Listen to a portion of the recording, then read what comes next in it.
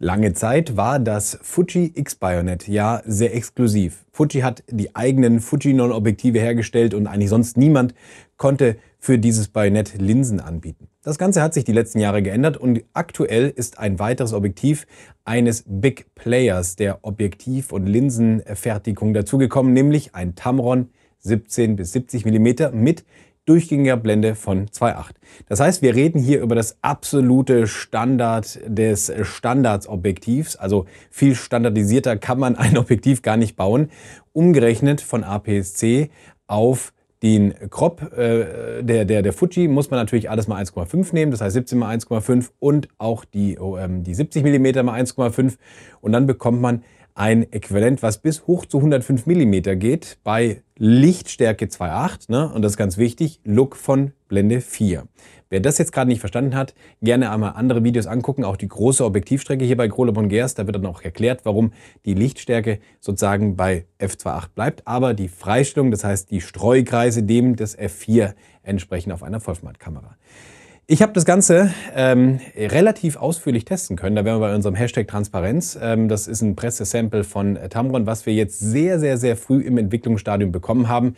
Das heißt, wir haben eine Version zum Fotografieren bekommen, die ähm, wirklich nicht mal für Fotos freigegeben war. Das heißt, äh, da hätten wir gar keine Fotos von zeigen. Also wir dürfen zwar Fotos zeigen, aber wir dürfen da jetzt nicht 100% rangehen und sagen, guck mal, wie, wie schlecht oder gut das Ganze ist. Das ist völlig normal.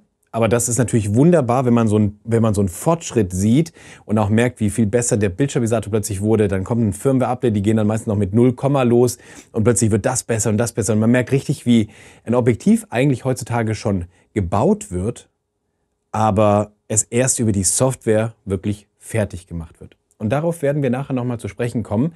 Gerade eben, wenn es um das andere Objektiv, das 1655, was in direkter Konkurrenz sozusagen jetzt steht, zum Tamron, wenn es darum geht, das zu vergleichen.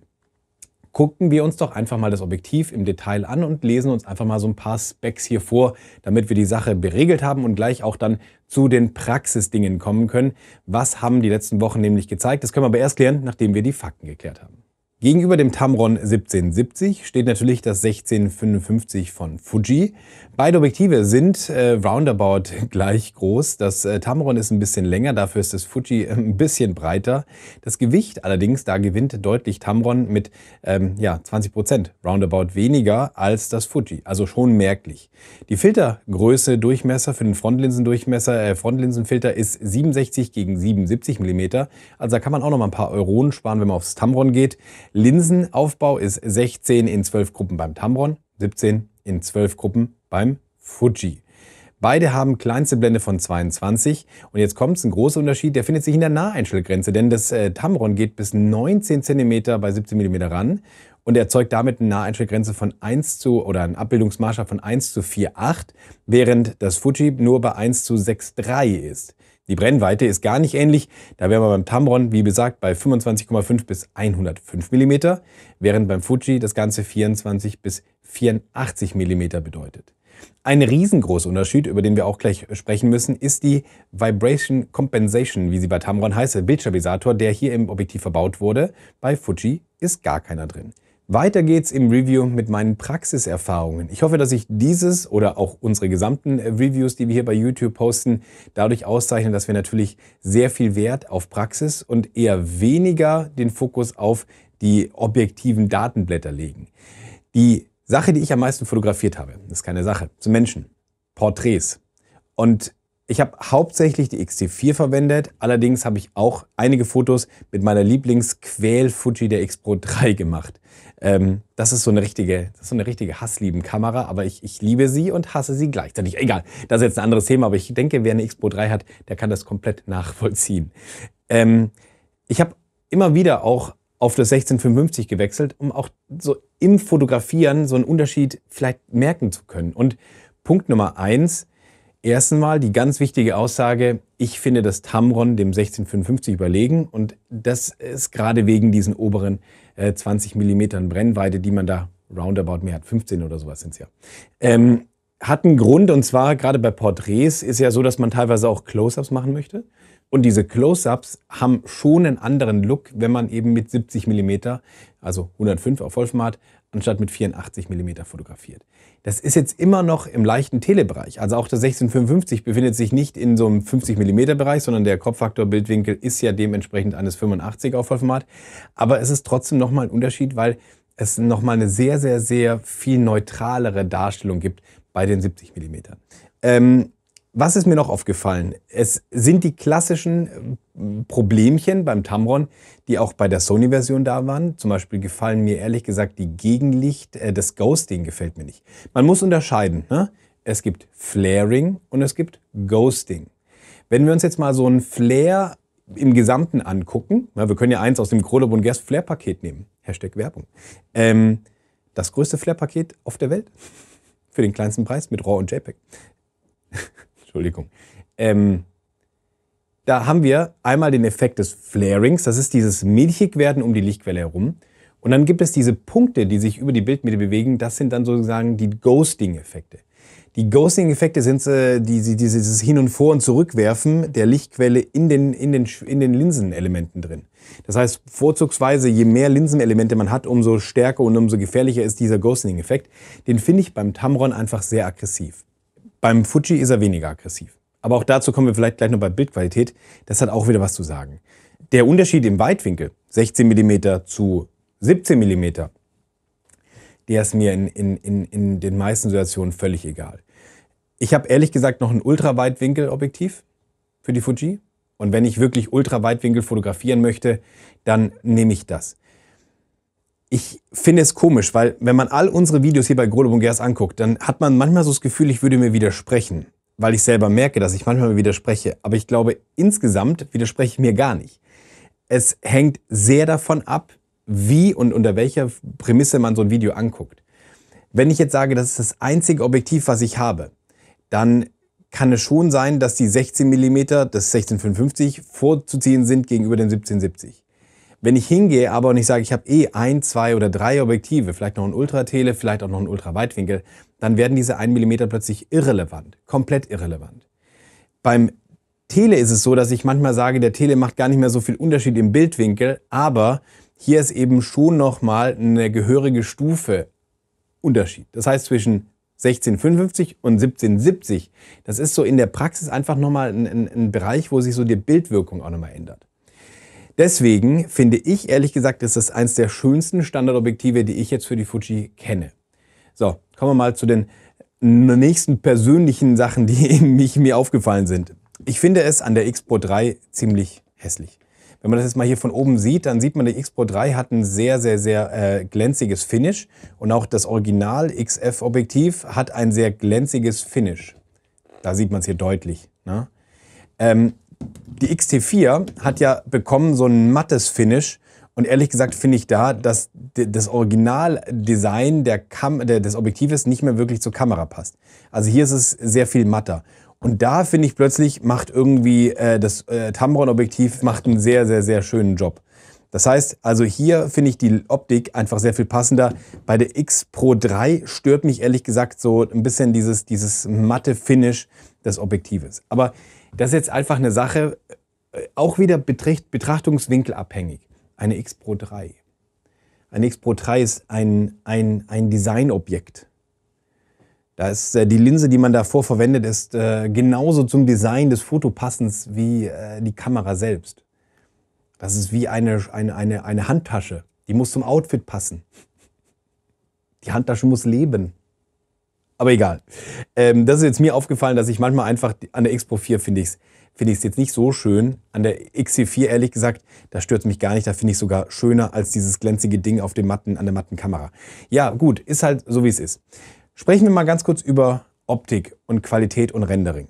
Ich habe hier auf dem Tisch eine Alpha 6600 und auch da ist ein Objektiv vorne dran. Ne, das sieht man. Auch da ist ein 1770 vorne dran. Und ich mache jetzt hier mal die Geli weg. Hier ist es 1770 für Fuji. Und wie man sieht, sind es zwei absolut identische Objektive. Und das ist übrigens ein ganz wichtiger Punkt. Tamron hat wirklich das Objektiv eins zu eins von der äh, Konstruktion übernommen. Nur hier im unteren Bereich, da sieht man den Unterschied zwischen dem E-Mount-Bajonett und dem X-Bajonett, was ja noch ein bisschen kleiner ist. Übrigens, wer jetzt mehr Interesse hat an groß und kleines Bajonett, wir haben da ein sehr interessantes Video gemacht über die Objektiv-Bajonettgröße und das Auflagemaß und wie das überhaupt mit der maximalen Blende zusammenhängt. Also wir können es hier drunter verlinken, einfach mal angucken. Daran kann man nämlich erkennen, dass das X-Bajonett wirklich tippitoppi ist und da hat nichts mit Größe oder sonst was zu tun. Immer dann, wenn es um die Größe ankommt, ist sowieso meistens nicht so richtig. Sagt man. Ähm, also hier sieht man, dass das Bajonett etwas angepasst wurde, dass es dünner wurde und ich glaube, das war auch die höchste Konstruktionsarbeit. Da gibt es auch ein, ähm, ein Dokument, ein Interview, was ich gesehen habe, wo ein Tamron-Führungsmitglied äh, der Entwicklung oder der Chefebene erzählt, dass, ähm, dass hier die Platine neu konstruiert werden musste, weil die Platine, die saß irgendwie hier unten drin und die musste jetzt zersplittet werden und nochmal aufgeteilt werden und zweiebig gemacht werden. Also der Mikroprozessorhalter hier im Objektiv, der wurde hier nochmal anders ge ge gebaut. Alles andere hier vorne, ne, also alles, was das eigentliche Objektiv äh, betrifft, das hier ist absolut identisch. Identisch, identisch, identisch. Und das 1770 ist ja gerade was E-Mount äh, betrifft und APS-C E-Mount betrifft, einfach ein makelloses Objektiv. Also ohne jetzt vorwegzugehen in der optischen Leistung, kann man eigentlich schon sagen, weil das Objektiv gibt es ja schon über anderthalb Jahre, ähm, dass das Objektiv makellos performt an APS-C-Kameras. So, gucken wir uns jetzt einfach mal das Objektiv genau an. Wir haben optische Tests gemacht, die ähm, wir auch hier gleich einblenden werden. Das Interessante ist, und darüber werden wir auch gleich sprechen, dass man diese Tests in gewisser Weise nochmal bewerten muss im Kopf. Ich zeige hier einfach mal ein Bild. Das ist ein Foto aufgenommen mit der XT4 mit dem 1655. Und wenn wir jetzt sehr, sehr, sehr stark an den Fokusbereich heranzoomen, dann erkennen wir, dass das eine Schärfe ist, die sehr komisch aussieht, die eigentlich von Photoshop überschärft aussieht. Und wer dieses Überschärfungs-Eindruckchen äh, ja, hat, der liegt gar nicht so falsch. Fuji optimiert das, die Datei, die rauskommt, ähm, sehr stark. Das muss man einfach äh, eingestehen und das ist ja auch völlig legitim. Warum sollten sie es nicht? Ich bin ja eh ein Fan davon, Korrekturen zu machen, ob jetzt optisch oder digital. Hauptsache das Ergebnis wird gut. Ich bin da sehr, ich bin da sehr ergebnisresultiert, äh, resultierend. Allerdings muss man es eben halt auch wissen, denn wenn man die beiden Objektive jetzt an der Kamera vergleicht, dann wird man erstmal so ein bisschen von äh, nach hinten fallen. Aus einem ganz einfachen Grund, weil das Tamron von der Fuji eben nicht optimiert wird. Und wer jetzt denkt, aber Martin, dann guck dir doch nicht die JPEGs an, sondern guck dir die RAW-Daten an. Das ist die RAW-Datei. Und das ist die RAW-Datei, wir können das auch gerne in Nummer einblenden, ohne irgendwelche Korrekturen rechts außen. Das ist die RAW-Datei. Wer jetzt denkt, dass eine RAW-Datei roh ist, der muss echt noch mal ein bisschen in sich gehen und überlegen, ob die Welt dann doch vielleicht ein bisschen falscher ist, als man sich das manchmal vorstellt. Eine Rohdatei hat nichts zwangsweise mit roh zu tun, sondern eine Rohdatei bedeutet einfach nur, das ist eine Art Zwischenstadium vor JPEG, TIFF oder was da auch immer noch kommen mag, was aber der Hersteller trotzdem nochmal optimiert. Es gibt unter, also es gibt, es ist zum Beispiel klar, dass äh, Nikon eine Zeit lang bei ihren Sensoren Flächen entrauscht hat. Ähm, da hat das Rauschen kurz vor der Kante angefangen. Ne? Solche Spielereien machen Hersteller im RAW. Genauso, dass, äh, dass, dass, dass, dass, dass irgendwelche, ich meine, das sind ja Farbkanäle, ne? da kommen ja RGB, äh, da kommen ja, gibt ja Analog-Digital-Wandler. Ne? Also Sensor, der fängt ja Licht auf, Photonen, die werden in Energie umgewandelt, sehr für Baby. Aber die gehen dann weiter in Form von Strom und dort geht dann jemand hin und sagt, ah ja, okay, also 3 Volt und 4 Volt und 10 Volt, das gibt so und so eine Farbe. Und dann wird es zusammengemixt und dann abgespeichert irgendwo. Und wie das dann verarbeitet wird, natürlich, natürlich wird da was verarbeitet. Und Fuji macht da einfach sehr, sehr, sehr viel. Was auch völlig legitim ist, weil sie ja von vornherein auch mit einem cleanen System gestartet sind und da auch wunderbar im digitalen, spiegellosen Zeitalter entwickeln konnten. Jetzt habe ich sehr, sehr, sehr hart darüber nachgeredet, was jetzt hier passiert, aber wir müssen es einfach wissen. Denn wenn wir jetzt die Bilder einblenden, zum Beispiel den Vergleich der Schärfe der Mitte bei 2.8 gegen die Schärfe der Mitte 2.8 beim 1655, dann wird man erstmal denken, wow, crazy, das ist ja richtig scharf gegen richtig unscharf. Das Problem ist bloß, das 1655 ist intern nachgeschärft. So, das, sieht, das sieht so künstlich aus. Das sieht ehrlich gesagt für mich auch ich habe es nie so negativ wahrgenommen, weil ich ja nie den Vergleich hatte. Es gab ja kaum andere Objektive, die man ransetzen konnte, die man so vergleichen konnte. Ähm, aber ist auch mit ein Grund, dass eben Fuji immer so extrem schärf fährt. Tendenziell bei meinen Einstellungen, also wenn wir mal meine Grundeinstellungen gehen, ich habe übrigens ein schönes Video gemacht über meinen Lieblings-Schwarz-Weiß-Stil, äh, ähm, auch für die Fuji, für die XT4, kann man unten auch verlinken, das nächste Video, was wir verlinken müssen. Ähm, dann nehme ich bei der Fuji eigentlich immer so ein bisschen die Schärfe zurück, weil mir tendenziell Fuji eigentlich immer zu scharf ist. Und das passiert nur im JPEG, das ist eigentlich Blödsinn, dass ich das mache, ähm, aber die RAW-Datei selber ist, ist mir eigentlich bei Fuji zu, zu knackig. Ähm, in Anbetracht der Tatsache, dass das Rendering eins zu eins gleich ist. Also wir dürfen nicht vergessen, das Objektiv existiert schon mal an der Alpha 6600. Und an der Alpha 6600 gibt es 1770 und es hat vorzügliche Testberichte und vorzügliche Messwerte bekommen. Das ist eins der coolsten APS-C-Objektive an der Sony E-Mount und das ist das gleiche Rendering. Das ist jetzt nicht, dass das plötzlich irgendwie an einer anderen Kamera anders performt. Das ist das gleiche. Das ist die Frage, was hinten bei rauskommt. Und wenn da eben jemand schummelt, und das tut in dem Falle jetzt Fuji, ähm, nee, halt, ich darf nicht schummeln sagen. Es ist kein Schummeln. Das ist einfach nur ein Optimieren. Das kann man aber auch natürlich mit Schärfen ersetzen. Dann wird jedes Testergebnis eins zu eins digital verbessert werden. Also um das mal äh, so zu sagen, man hat einen Wert, was objektiv macht, dann macht man eine Schärfung oben drauf. Und die kann man ja am Rand machen, in der Mitte, außen, äh, bei Blende 8, bei Blende 5.6, bei Blende 2.8. Das heißt, alles wird so ein bisschen nach oben verschoben und man müsste eigentlich fairerweise diese Schärfzeichnung wieder runterrechnen oder einfach digital das Tamron auch nachschärfen um den gleichen Betrag und dann könnte man eigentlich Ergebnisse sehen. Wenn wir uns jetzt hier mal den Rand angucken bei 2.8, dann merken wir schon, dass das Ergebnis trotz der fehlenden Korrekturen nicht mehr so weit auseinander liegt und dass es schon immer näher geht. Wenn wir das Ganze jetzt im Telebereich angucken, haben wir wieder in der Mitte einen relativ deutlichen Unterschied, außen wieder etwas weniger. Das ist das Interessante, dass eben dieses Optimieren der RAW-Datei in der Kamera drin dass das natürlich einfach ein bisschen verschwimmend ist, die Ergebnisse. Ich persönlich habe unfassbar viele Porträts in letzter Zeit gemacht. Ich habe die Bilder bearbeitet. Sarah hat die Bilder bearbeitet. Wir haben mit 100% Ansicht in die Augen, wir haben es nicht, wir haben es nicht wahrgenommen. Also bis zum echt bis zum Zeitpunkt, wo wir die Serien, äh, die Serienversion, das Objektiv ist jetzt Serie, das ist so final, bis wir dieses Objektiv hatten und dann gegen das andere Objektiv verglichen hatten, hatten wir nicht festgestellt aus der Praxis heraus, dass es in irgendeiner Weise diesem Objektiv äh, nicht gewachsen ist. Und das ist auch wieder so eine interessante Sache aus der Praxis, wo natürlich solche Testberichte, die man in Zeitschriften oder auch bei YouTube-Videos liest, wo dann irgendwelche Tafeln oder irgendwelche Siemens-Sterne abfotografiert werden. Siemens-Sterne, das Ding, wo man Kopfschmerzen bekommt, wenn man zu lange drauf guckt. Ähm, die sind halt nicht zwangsweise ausschlaggebend und aussagekräftig für jede praxisnahe Situation. Ich finde, was noch wichtig ist bei der Betrachtung der optischen Qualität, sind natürlich zum Beispiel die Verzeichnung, gerade bei 17 Millimeter. Das finde ich ehrlich gesagt alles äh, völlig im Bereich, vor allem wenn jetzt äh, andere Hersteller auch schon anfangen, ihre Objektive kleiner und kompakter und günstiger zu machen und Verzeichnungskorrektur komplett wegzulassen. Da finde ich, was Tamron hier in der Rechnung gemacht hat, noch wirklich spitze.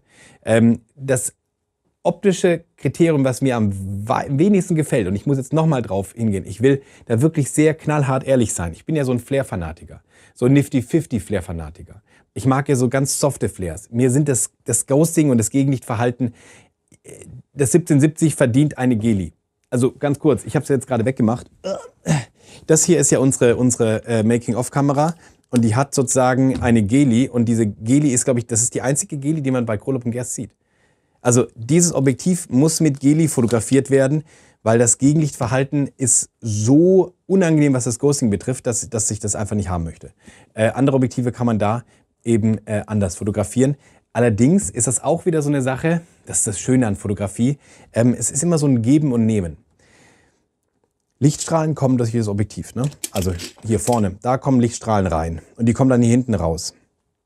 Es gibt keine Lichtstrahlen, die da vorne reinkommen und die da hinten rausgehen, die anders da durchgehen wie andere Lichtstrahlen. Das heißt also, dieses aggressive Flair-Verhalten, das ist eigentlich ein Hinweis darauf, äh, dass das Objektiv häufig, also man muss da vorsichtig sein, weil es gibt da sehr viele optische Konstruktionsmöglichkeiten. Aber im Allgemeinen ist ein ein, ein, ein, ein sehr hartes Bouquet und ein sehr, sehr, sehr aggressives Ghosting-Verhalten ein Hinweis darauf, dass das Objektiv eher potenziell zu scharf geworden ist. Ähm, ich habe mal als Vergleich mitgenommen, hier ist das 25 mm 095. Das ist so eine, boah, ich weiß gar nicht, wessen, welche Marke das ist. Äh, das ist Seven Artisan, das ist so eine Billigmarke, ähm, auch für Fuji, X-Mount. Und das hat 095. Das ist so eine, so eine Scherbe, so eine Retro-Scherbe, ultra altes Rendering und auch nicht das beste Glas. Warum haben denn diese, warum haben denn diese alten Retro-Linsen oftmals so ein schönes Bokeh und so ein schönes Flaring und so ein schönes Gegenlichtverhalten? Einfach weil die auch per se gar nie scharf werden. Das bedeutet, das Licht kommt durchs ganze Objektiv, egal ob es von der Sonne, vom Motiv oder sonst wo kommt. Und wenn was extrem knackig wird, dann wird es vorne in der Schärfe als auch in der Unschärfe knackig. Was ein Bokeh oder was so Flaring und Ghosting oftmals so schön macht, ist, dass zum Beispiel Linsen einfach matschig sind. Graulich, gräulich. Aber dann wird auch das Motiv, was man anfokussiert, eben halt auch nie scharf. Das ist das Schöne an Fotografie und an Objektiven, dass das eine irgendwie so am anderen hängt und wenn man in die eine Waage kippt, dann kippt man so in die andere. Also das ist alles sehr verknüpft und diese Verknüpfungen zu verstehen und zu hinterfragen, ist natürlich ein super, super tolles System. Ähm, ich finde es wirklich super interessant. Im Vergleich zu alten Objektiven, da kann man erkennen, was Bokeh oder Flaring oder Ghosting bedeutet, wenn es angenehm und nicht angenehm ist, aber was auch gleichzeitig für Konsequenzen natürlich, was die Schärfe betrifft, mit sich bringt. Ähm, Unschärfe finde ich super schön geworden. Was ich technisch gesehen auch immer bei Tamron sehr, sehr, sehr toll finde, ist die Naheinstellgrenze. Das Objektiv, hatten wir schon gesagt, kann einen Abbildungsmaßstab erreichen, der wirklich schon fast am Makro dran ist. Es ist nicht ganz Makro, aber es ist sehr nah dran. 17 mm, übrigens mehr als bei 70 mm. Ne? Also 70 mm würde ich dann eher weniger Makros machen. Wenn ich mehr machen möchte, dann würde ich 17 nehmen. Und dann kann man relativ, relativ nah ran und wirklich auch Details machen. Und ich glaube, gerade das ist so für so ein Alltagsobjektiv und als das würde ich es bezeichnen. Das ist so ein, so ein Arbeitstierobjektiv extrem wichtig gerade auch beim Fotografieren von People oder bei, bei Produktionen ist oftmals so, dass man zum Beispiel einen Shot macht von, von der Person und dann will man irgendwie Details. Dann sagt der Kunde, ja, ich will nochmal die zwei, drei Sachen Details, zum Beispiel für TikTok oder Instagram oder sonst was, dass man irgendwie noch was posten kann. Ähm, und dann muss man bei manchen anderen Objektiven das Objektiv wechseln, damit man den nächsten Schuss machen kann. Hat dann irgendwie andere Blenden und sonst was. Und das ist einfach nicht der Fall. Genauso, wenn man irgendwie im Urlaub ist, wenn man unterwegs ist, man geht einfach nahe hin, macht ein Foto und äh, aus die Maus. Ne? Also ich habe das letztens gemerkt, das war ein Beispiel, ah ja, mein Sohnemann ist gestolpert, wollte ein Foto haben für die Oma ähm, äh, von, einem, von, einem, von einem aufgeschürften Knie und ich hatte das falsche Objektiv dran, was halt super scharf ist, aber wo ich nicht wirklich das Knie hoch auf, also ich konnte es, ging nicht. Da habe ich das Handy rausgeholt, aus dem Handy fotografiert, was ja auch nicht Sinn der Sache sein kann. Wir, wir, geben Geld aus, wir kaufen uns Objektive, wir kaufen Kameras, die einen tollen Look haben und dann ist einfach so, dass irgendwo ein Aus ist. Also es, es soll nicht so sein. Punkt Ausschluss. Ich habe mich geärgert, weil äh, war halt auch vielleicht es war schon so eine solide Knie. Das wäre auch was für die Zukunft gewesen, wo man sagt, guck mal hier, so sah es mal aus. Ähm, Bluttourismus sozusagen. Aber ähm, es, es ist schade. Wie kann man das Ganze zusammenfassen? Viele Fotoshootings, vieles Porträtieren in, in vielen Situationen. Äh, geschlossenblendig finde ich ehrlich gesagt, ist es objektiv, da ist es meiner Meinung nach nicht mehr so spannend heutzutage. Also man kann wahrscheinlich gar nicht mehr erkennen, ob das oder das Objektiv, wenn man auf Blende 5, 6 oder 8 äh, abgeblendet hat, das, das funktioniert so nicht mehr. Aber bei 2,8er Blende mit 70 mm entstehen einfach so unfassbar schöne Looks. Auch auch, auch, auch gerade im Gegenlicht die Porträts, die gefallen mir einfach so wahnsinnig gut. Eine Sache ist meiner Meinung nach das Allerwichtigste an diesem Objektiv. Und zwar der integrierte Bildstabilisator. Bei Fuji heißt er eigentlich OIS, Optical Image Stabilization, denn es gibt dann noch die Bildstabilisierung in der Kamera. Und das Tamron hat eine unfassbare Stabilisierung. Das kann man auch kurz erklären und da kann man noch mal kurz verweisen auf das Sony-Video. Das Tamron, ähm, die sagen wieder AI, aber es ist meiner Meinung nach, meiner Meinung nach, ne, keine AI. Ähm, das hat eine sehr, sehr, sehr anpassende äh, Art und Weise, mit Stabilisierung umzugehen. Da sind Lagesensoren drin und diese Sensoren, die, die, die, die merken sozusagen gewisse Bewegungen und packen die in Bewegungsmuster. Bedeutet, da ist eine, eine Datenbank drin aus Bewegungsmustern, die beim Filmen auftreten können. Und wenn das Objektiv diese Datenmuster erkennt, dann wird der optische Bildstabilisator im Objektiv eigenständig und unabhängig von der Kamera auf diese Bewegungsmuster geeicht. Und das ist natürlich ultra genial. Also diese Bildstabilisierung zusammen mit der XT4 zum Beispiel aus der Hand im Weitwinkel ist fast schon wie ein Stativ. Das ist wirklich, wirklich besser. Also alleine dieses Feature, diese extreme Stabilisierung, die man vor allem bei 70 mm merkt. Das ist ja auch wieder die Sache. Ne? Es gibt zwei Stabilisierungsarten, Sensorstabilisierung und Optikstabilisierung. Die Sensorstabilisierung, die ist eher vorzugsweise im Weitwinkel sinnvoll, weil da andere Bewegungen und, und, und Muster entstehen.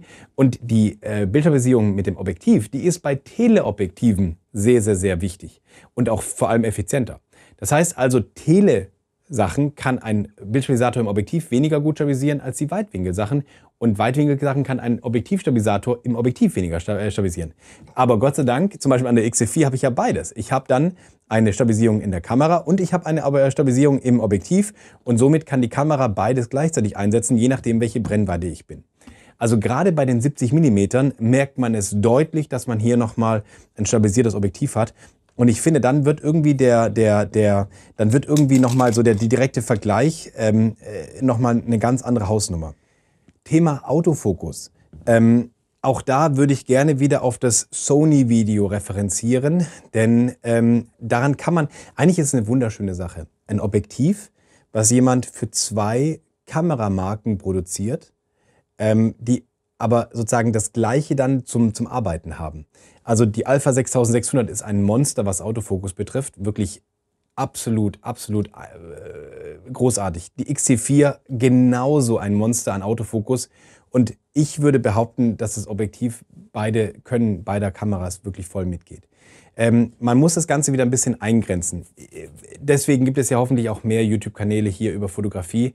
Ähm, wir sind eben nun mal People, Commercial-Fotografen. Wir fotografieren eigentlich sehr lahme, träge Motive ich bin nicht der richtige Mensch, der über Autofokus zum Beispiel von irgendwelchen fliegenden Tieren oder sonst was berichten kann.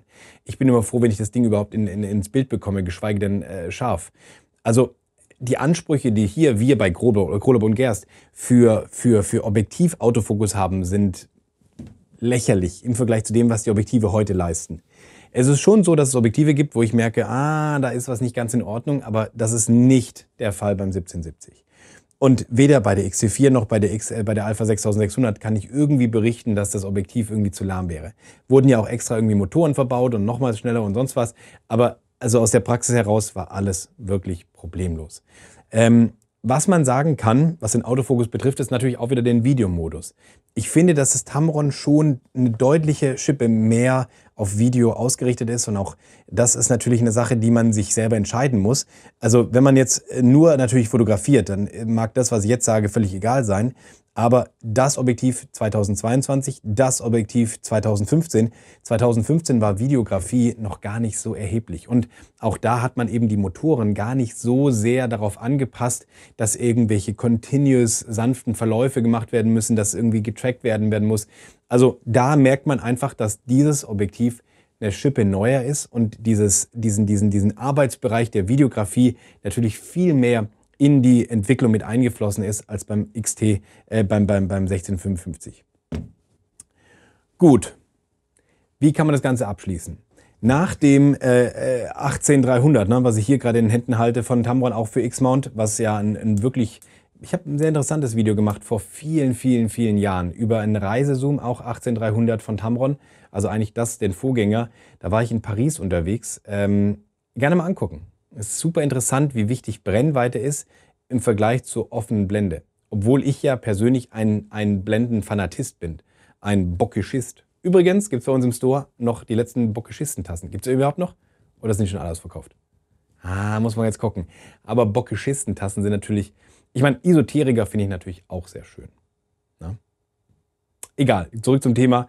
Das gibt es tolle Video, auch gerne mal angucken über das Reisezoom. Aber ich finde es schön, dass Tamron jetzt mit dem 1770 einfach nochmal die Performance, die bei der Alpha 6600 so unfassbar gut geklappt hat, auf die Fuji ähm, X-Mount bringt.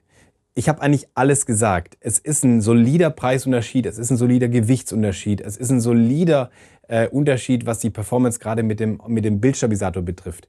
Es sind so Kleinigkeiten, dass man mehr Naheinstellgrenze hat, dass man noch ein bisschen mehr obenrum hat an, an Brennweite.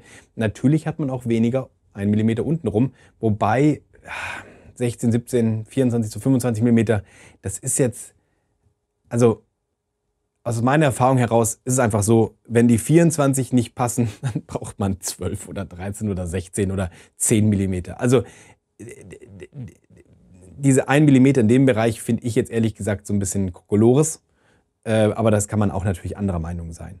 Äh, man kriegt äh, einen kleineren Filterdurchmesser. Man, man, man hat eigentlich sehr, sehr, sehr viel mehr beim Tamron als beim Fuji. Aber ich verstehe natürlich auch, wenn jemand zum Beispiel sagt, wie ich bei meiner X Pro 3, ah, so sieht die Combo eigentlich ganz geil aus, äh, glänzig, glänzig. Es gibt ja auch so Verrückte, die wirklich ein Objektiv wegen irgendeinem Finish kaufen.